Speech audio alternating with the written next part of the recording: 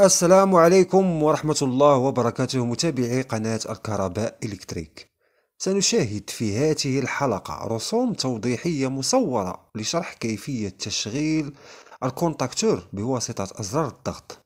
start و stop حلقة اليوم هي حلقة مرتبطة بالحلقة السابقة. ستجدون الروابط في وصف الفيديو. نرفع فاصل القناة وندخل في الشرح.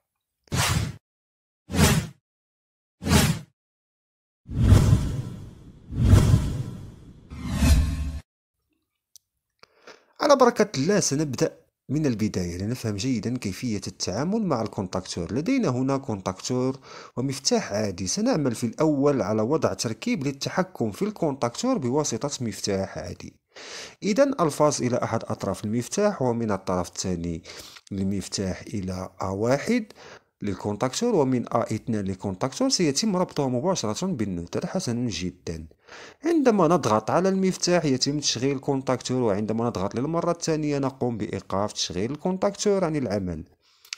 الآن سنعمل على استبدال المفتاح بأزرار الضغط للتحكم في ال contacteur. أزرار الضغط تعود إلى حالتها الطبيعية بعد رفع الإصبع منها وهي نوعان زر مفتوح في حالته الطبيعية ويسمى زر التشغيل أو زر start وهو زر مفتوح عند الضغط عليه يصبح مغلق وبعد الضغط سيعود لوضعه الطبيعي المفتوح. والنوع الثاني من أزرار الضغط هو زر الإيقاف أو زر stop وهو زر مغلق عند الضغط عليه يصبح مفتوح وبعد الضغط عليه يعود إلى حالته الطبيعية وهي مغلق. لنعود إلى رسمنا التوضيحي. سنعمل في الأول على إضافة زر التشغيل مكان المفتاح العادي وهو زر مفتوح في حالته الطبيعية طبعا. عند الضغط عليه سيتم تشغيل ال contacteur لكن بعد الضغط مباشرة سيتوقف ال contacteur لأن زر التشغيل يعود لحالته الطبيعية بعد رفع الإصبع عليه. إذا كيف سنعمل على تشغيل ال contacteur؟ بصفة دائمة بواسطة زر التشغيل حتى بعد رفع الإصبع أو بعد الضغط. لاحظوا معي هنا أن التلامس 13 14 هو تلامس مفتوح NO. عند تشغيل ال contacteur يصبح مغلق. إذا سنستعمل هذا الوضع آه، في تشغيل ال contacteur. كيف ذلك؟ سنعمل على توصيل phase دائم. إلى النقطة 13 ومن النقطة 14 سنعمل على وضع توصيل بالنقطة A1 الآن سأعمل على الضغط على مفتاح التشغيل. لاحظوا معي أن, أن الكونتاكتور يظل في حالة تشغيل حتى بعد رفع الإصبع عن زر التشغيل.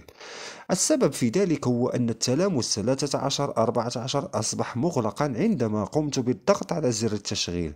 وفي هذه الحالة سيعمل على تمرير الفاز إلى النق... من النقطة 13 إلى النقطة 14 ومنها إلى A1 ملف ال contacteur. يعني أن النقاط 13 14 تعمل على ضمان استمرارية تغذية ملف ال contacteur بال phase لأن زر التشغيل هو مفتوح في حالته العادية وسيعود إلى وضعه الطبيعي بعد الضغط وسيصبح المسار الوحيد لل phase هو النقاط 13 14 ومن ومنها إلى ملف ال contacteur. حسن جدا. الآن كيف سنعمل على وقف تشغيل الكونتاكتور؟ طبعا سنستعمل زر الإيقاف stop وهو زر مغلق في حالته العادية. زر الإيقاف سيعمل على إيقاف التغذية على ملف الكونتاكتور وهكذا سنعمل على إعادة النقاط 13 14 إلى وضعها الطبيعي المفتوح لنعمل على توقيف الفاز على ملف الكونتاكتور. قلنا في الحلقة الماضية أننا نستطيع وضع زر الإيقاف هنا أمام زر التشغيل في وأمام أيضا النقاط 13 14 حتى نتمكن من قطع التيار وإيقاف التشغيل بعد رفع الإصبع سيعود زر الإيقاف إلى وضعه الطبيعي أي مغلق وسيعمل على تمرير الفاز إلى زر التشغيل والنقطة 13 حتى نتمكن من تشغيل الكونتاكتور مرة أخرى وهكذا. آه، بالنسبة لزر الإيقاف هنالك ثلاث أماكن يمكننا وضع فيه المكان الأول هنا وهو المكان النظامي الشائع الذي يستعمل. لكن يمكننا استعمال زر الإيقاف هنا أيضا بين النقطة 14 و A1 يعني حتى هنا يستطيع زر الإيقاف وقف التيار على ملف الكونتاكتور أثناء التشغيل. لكن هذا المكان في الغالب نستعمله متلامسات مغلقة للمؤقتات.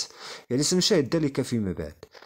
والمكان الثالث هنا في النوتر. حتى هنا سنعمل على إيقاف الكونتاكتور عبر قطع توصيل النوتر أثناء الضغط على زر الإيقاف. لكن من الأفضل استعمال زر الإيقاف دائما هنا في مدخل التركيب. أما بالنسبة لزر التشغيل لا توجد أي وضعية أخرى ممكنة له غير التي هنا تشاهدونها أمامكم. أعتقد أن هذا كل شيء. إلى هنا وصلنا إلى نهاية هذه الحلقة. شكرا لكم وإلى اللقاء.